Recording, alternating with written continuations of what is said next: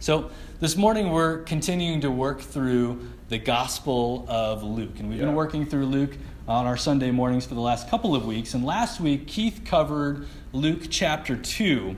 And he really focused on a concept that is extremely difficult for most of us change. Something that a lot of people don't like or don't really want to deal with. But what he talked about was going to God in change, right? Trying to turn to Him and making sure that we were focused on Him despite the challenges, despite the surprises, despite the circumstances that life sometimes dishes out to us, continuing to go back and fix our eyes on Jesus. And so let me ask you how have you handled change this week? Have you had to deal with change this week? And how did you handle it? Have you turned to God? Have you continued to fix your eyes on Jesus even if things were hard? Because this is, this is something that we're constantly going to face, constantly going to, to deal with as we live our lives, and especially as we're trying to live for Jesus, it's, there's, a, there's constantly going to be these distractions that Keith talked about. And so we need to continue to come back to Jesus, focused on God. And in his lesson last week, Keith was primarily focusing, or what I took from it anyway, anyways, he's primarily focusing on kind of the dealing with the change that comes at us, right? The, the things that life deals to us that we can't necessarily control or we can't necessarily decide on how it's going to come, but we still need to make a decision on how to respond. And so that was a, it was a lot of that external change that we were facing. That was what Keith was talking about last week. But this week, we're going to continue to talk about change, but we're going to talk about change that we can control. Because some of the some of the circumstances of life, of course, we can't control. We can't really do anything about. We just have to make a decision how to deal with it. But there is a lot of change that we can control, and that's change that starts with us. Change that starts inside of us. The changes that we need to make in our lives and our hearts to do our very best for God. And so we're going to talk about that this morning because we're going to start in Luke chapter 3. And as Luke chapter 3 opens, the focus is back on John the Baptist and on his ministry. And if you remember John the Baptist and what he came to do, he came to prepare people's hearts for the Lord, to prepare people to connect with Jesus, to prepare people to live for him. And so he has a lot of thoughts about what it looks like to be prepared in our hearts to do that. And so for them, back at this time when John was preaching, there was work to be done in order to be prepared for Jesus. And the same is true for us today. If we want to be prepared for Jesus, we want to be able to be connected with us, connected with him, there is work to be done. So that's what we're going to talk about this morning. So let's dive in. Luke chapter 3, starting in verse 1.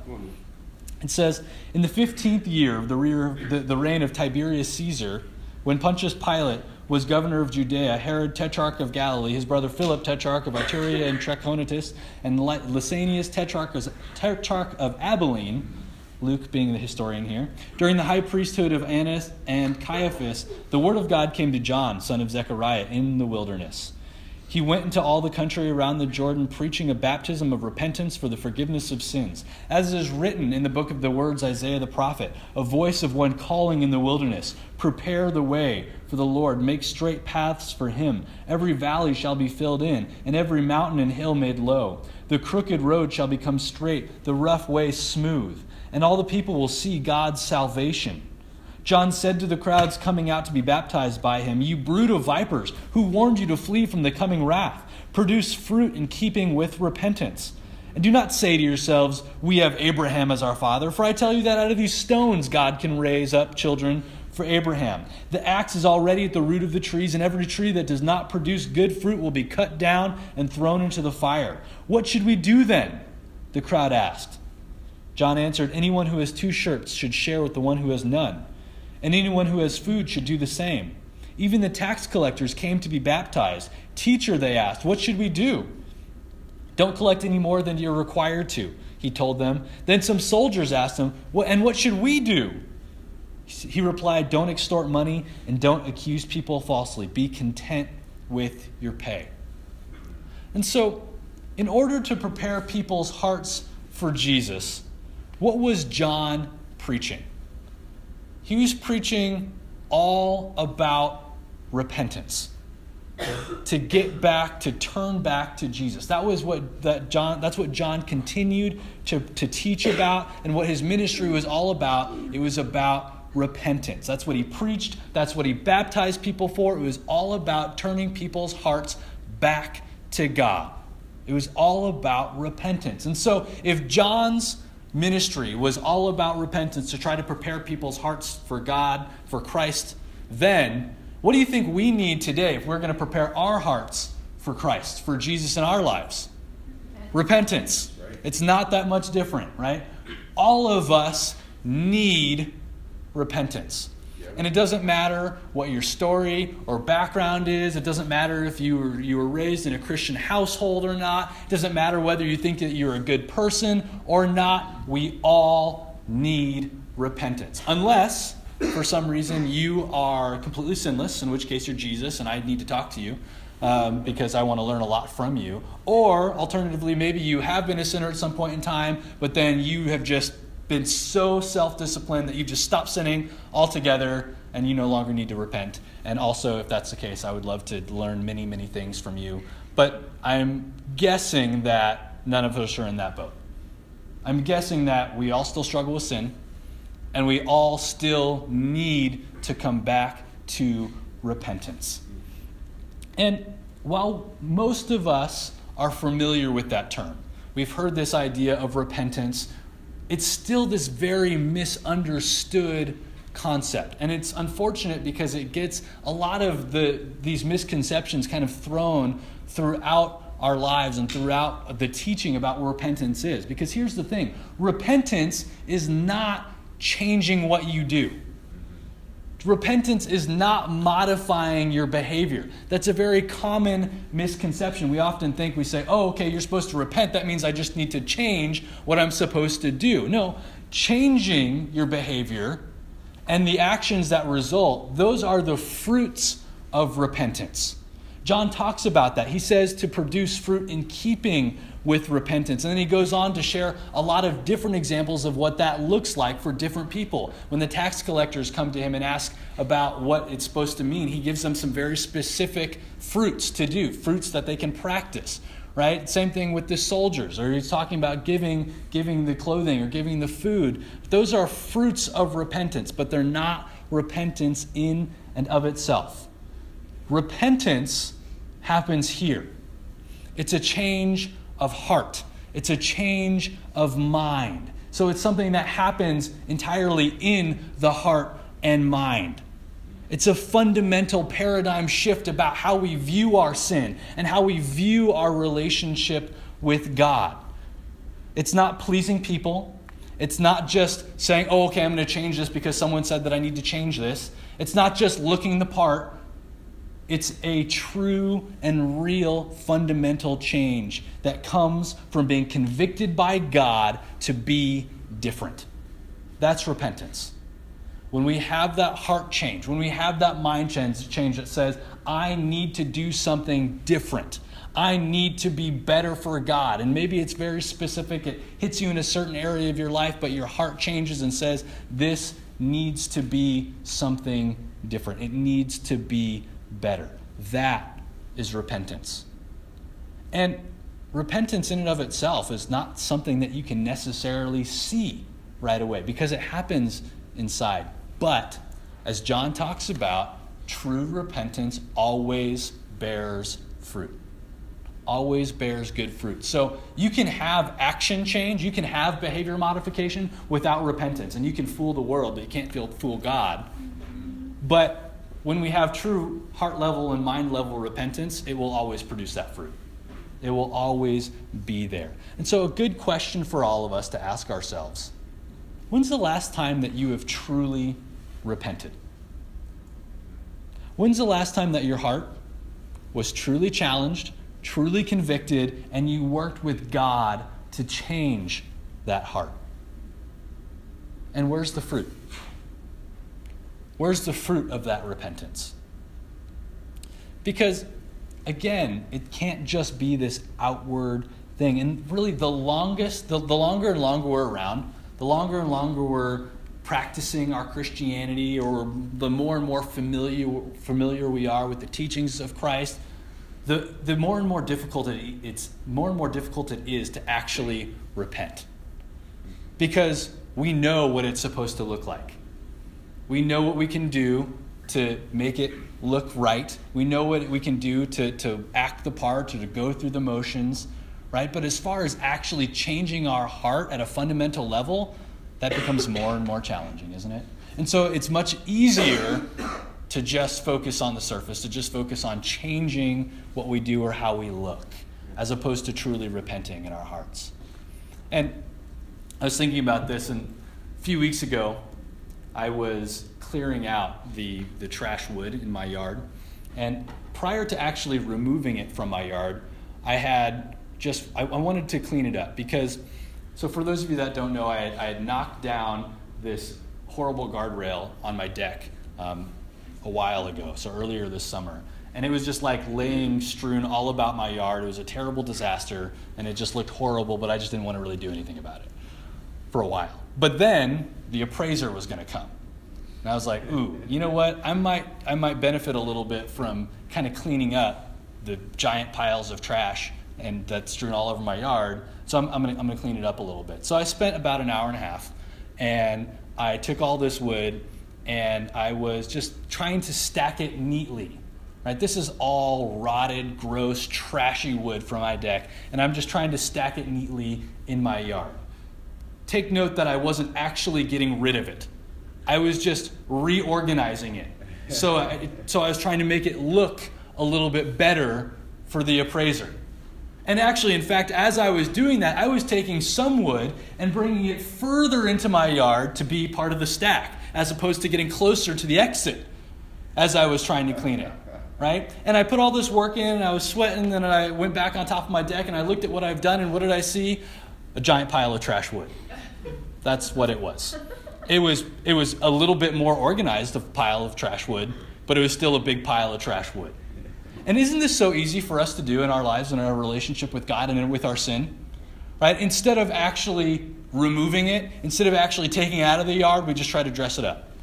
Right? We just try to make it look a little bit prettier. We just try to make it organized, a little bit more clean, so that when the appraiser comes, whoever the appraiser might be in your life, that it just, it just looks a little bit better but the reality is it's still trash. And ultimately, what the solution is, it needs to get out. Right? And so, luckily, I did. I asked for help, which is something that we all need when we're trying to clear out the trash in our hearts. I asked for a little bit of help, and a bunch of people came and got the, the, the trash out of, my, out of my yard. And now it looks much better. But again, this is something that we have to constantly be asking ourselves when we're thinking about our relationship with God. Are we clearing out the trash, or are we just moving it around? Are we really repenting, or are we just changing the actions to try to make it look better, look cleaner? It's so important for us to continue to cultivate this repentant heart. And it's not just a one time thing, it's an all the time thing. It's something that we have to continue to go back to. It's something that we have to remember, and something especially that we have to remember and come back to because guess what? There's another side of this coin. There's another side of the battle that does not want you to repent. That's right. There's another side that wants you to be convinced that true repentance is not necessary at all. And that's actually what we're going to read about next, because as we continue in Luke, Jesus himself actually gets baptized. And not that he needed to repent of anything, but he sets a wonderful example for us. And many point to that moment as the beginning of Jesus' public ministry. The sky opens, the, the voice comes from heaven that says, This is my son with whom I am well pleased. And it's this pretty epic and momentous moment, even for Jesus in his life. It's this pretty incredible stuff. And right after this, though, something really interesting happens. Right after what we might consider a very big or very high spiritual high for Jesus, Jesus comes face to face with the enemy who wants to take it all away. And actually, we're going to be in Luke chapter 4 now, starting in verse 1. We'll read what happens here. It says, Jesus, full of the Holy Spirit, left the Jordan, was led by the Spirit into the wilderness, where for 40 days he was tempted by the devil. He ate nothing during those days, and at the end of them, he was hungry. The devil said to him, If you are the Son of God, tell this stone to become bread. Jesus answered, It is written, Men shall not live on bread alone The devil led him up to a high place and showed him in an instant all the kingdoms of the world. And he said to him, I will give you all their authority and splendor. It has been given to me, and I can give it to anyone I want to. If you worship me, it will all be yours. Jesus answered, It is written, Worship the Lord your God and serve him only. The devil led him to Jerusalem and had him stand at the highest point of the temple. If you are the Son of God, he said, Throw yourself down from here, for it is written, He will command his angels concerning you to guard you carefully. They will lift you up in their hands so that you will not strike your foot against a stone. Jesus answered, It is said, Do not put the Lord your God to the test. When the devil had finished all this tempting, he left him until an opportune time. And so immediately after Jesus' baptism, he goes into the wilderness and he is tested by Satan. What's Satan's goal? To try to get him to lose his trust in God, to try to convince the human part of Jesus that he didn't want to rely on God, that he didn't want to follow his plans, and that instead he would he needed to or wanted to worship him, Satan. Right? To get Jesus to cave to him. And here's the thing, guys. If Satan had the audacity to go after Jesus, the perfect human being who is God, you'd better believe that he's going to come after you. You'd better believe that he's cocky enough to think that he can get you. If he thought he could get Jesus, he thinks he can get you.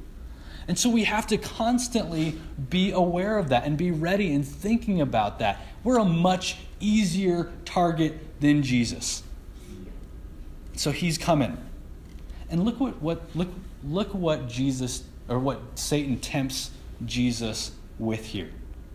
It's, it's not just stuff that Jesus might want, and I'm sure some of the things were things that Jesus wanted, but it's stuff that Jesus could easily have thought he deserved. It's stuff that, yeah, of course I deserve this. You could easily imagine Jesus thinking that, right? He had been fasting for 40 days. You think that he thought he might have deserved some bread? Yeah, totally. And he, he had the power to do it, so why not? Right? So Jesus said, Oh, well, Jesus could have easily been like, Well, yeah, I've been really working hard for God and I've really been fasting and praying and thinking about a relationship with Him. And so, yeah, I'm totally able and I deserve to be able to turn this bread, this stone into bread. Or you think about the power, right? Jesus was, is God. So really, He already has the power. And so, yeah, why not just, just get it? I deserve it anyway. I'm God. So, yeah, I, I do want all the power over, I want dominion over all, all of the kingdom all of these people, right? Or even as it result, relates to the, the safety, right? That, okay, Jesus had a plan, Jesus had a purpose to go out and save the world. You think that that would afford him a little bit of extra security, right? That he could jump off a tower and be okay because there was a bigger purpose in mind for him. So obviously, God is going to protect him. And so, all of these things are things that Jesus could have easily deserved, that Satan was tempting him with. Jesus or Satan is going to continue to take whatever he can and try to get us to cave to him. But man, I think one of the easiest ways for him to do that is to convince us that we deserve whatever sin that we want to get ourselves into. Because we've worked so hard in that area. Don't we just deserve a little bit of a break? Right? Or maybe we've been working so hard in other areas. We've been really focused. And so, oh, we can just we can we don't have to focus as much in this area so we can just let it slide because we've had some success and some victory in all of these different places. And so, oh, well, we don't have to focus too much here. He knows, Satan knows that it's a tougher sell to just get us to go against things that we know are, are wrong. Yeah. He knows that that's a hard road to go.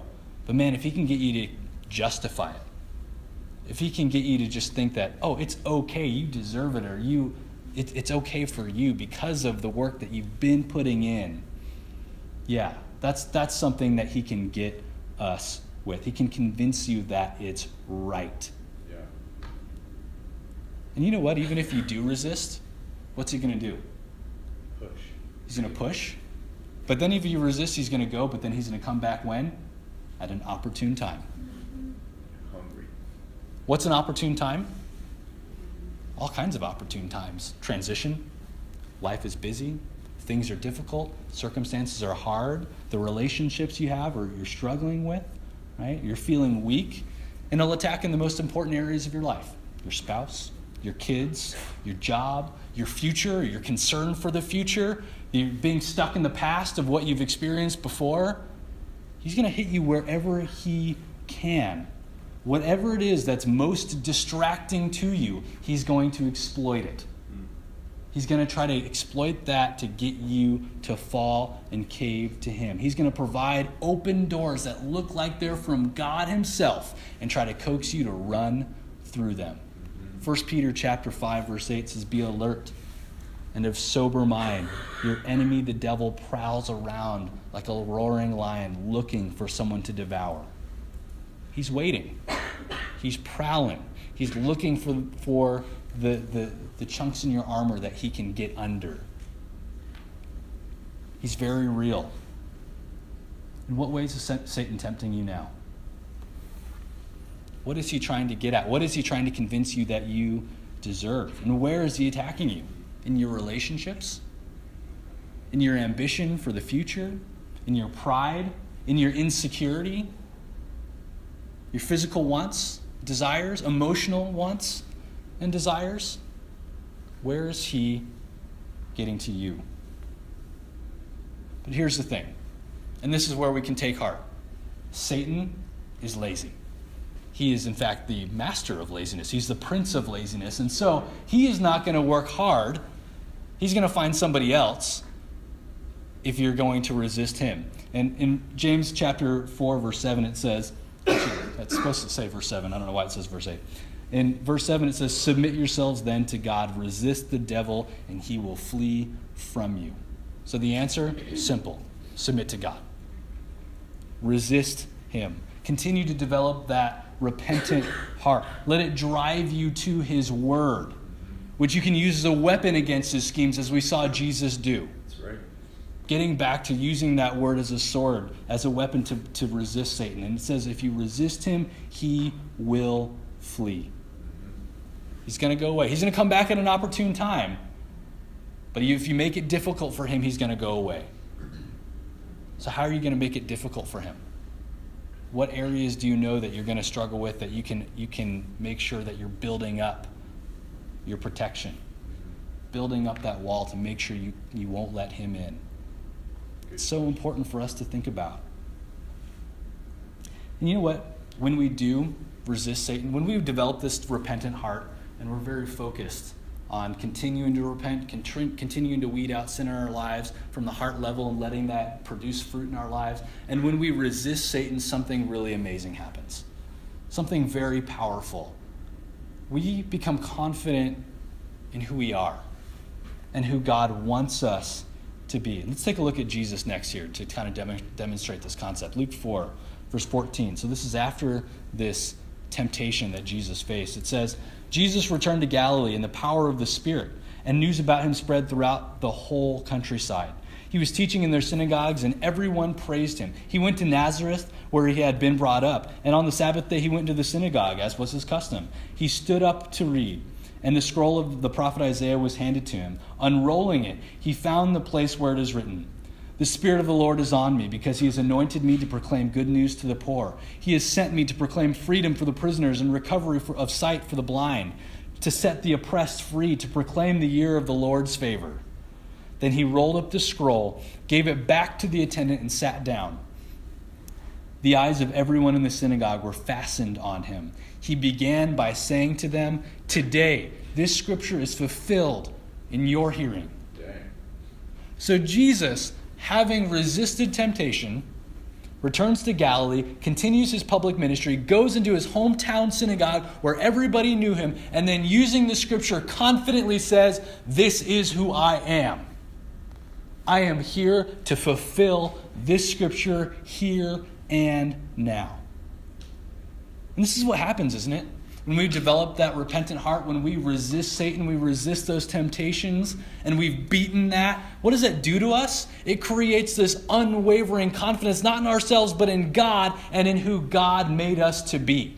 So through our confidence in God, we can be confident, confident in ourselves because of Him. And so it enables us to confidently go and share who we are, to be who God made us to be, confident in our connection to Him. When we're winning the battle, we are more and more confident in who we are in Christ. When we're losing the battle, We're overwhelmed, we're insecure, we're afraid, we re- we retreat, and we're, we're ashamed. But when we know that we've put Satan in his place, we realize that no one can stand in our way with God. We realize that there's nothing that can stop us from doing what God wants us to do. We can shamelessly and excitedly say the words in Romans 8:31 that says, "What then shall we say in response to all these things? If God is for us, who can be against us?" Do you have this kind of confidence in your relationship with God? Do you have this confidence in you because of your relationship with God? Because when you clear out the clutter of sin in your life, when you resist Satan, you no longer are held down by that weight of your sin. You get to be truly you. The you that God made you to be. So, a good question to ask maybe is who are you? Who is it that God has made you to be? It's that version of you that Jesus died for. See, Jesus knew that we were not capable of bearing the weight of our sin. He knew that our sin took us away from who we were meant to be. And so he made it so that you could be you. The you that God sees. The you that has so much potential when you're trusting in him and have allowed him to work through and deal with your sin. To drive you to make the changes that you need to make for him. Again, that's the you that Jesus died for. And as we wrap up, we're going to take communion this morning to reflect on this. We're going to pass trays that contain the bread and juice that represent Jesus' body and blood that was sacrificed for us. And we do this to celebrate the sacrifice that allows us to be who we're made to be, that allows us to be truly and authentically ourselves, to remind us to always come back to the foot of the cross, to develop that repentant heart, to fight the battle against Satan, to resist him and his schemes, and to live the lives that God wants us to live. Lives that are full of peace and joy and fulfillment. Lives that make an impact like Christ did. And again, lives that allow us to be truly and authentically ourselves, just as God intended it to be. Let's go ahead with that heart. Pray for the communion and pray for the body and blood of Jesus as we remember who we're made to be. Lord God, thank you so much for giving us this morning. Thank you for the fact that we get to get into your word, to dig in, and to see these inspiring examples, Lord, of repentance, of learning to change our hearts, to, to continue to move ourselves to be different, to be better for you, to learn how we can develop that heart and then resist Satan, God. And when we do that successfully, when we're working in tandem with our repentant heart and resisting Satan, we can be, God, who you wanted us to be. We can be truly us. I can be truly me. We can all be truly the people that God wanted us to be. Lord, I pray that you continue to help us to see that. Help us to see really who we are. Help us to be motivated to find you, to continue to have that sort of confidence in you, to build that confidence in you if we don't, and see again that that confidence can come from you to us, to be unashamed to share, unashamed to live the lives that we know that we're supposed to live for you, God. I just pray that you continue to guide us and help us to do this. And thank you so, so much again for your Son, the sacrifice that allowed us to be us, that he was willing to die on a cross, to be able to remove the weight of sin, to be able to remove those things that take us away from you, Lord. And, and instead, because of that sacrifice, we, we're able to be with you and connected to you. God, help us to always come to the foot of the cross to remember that. And help us to continue to push change in our own lives, in our own hearts, in our own minds, to be people that are truly giving you the glory that you deserve. God, we love you. We praise you. We pray all of these things in your Son's name, Jesus. Amen.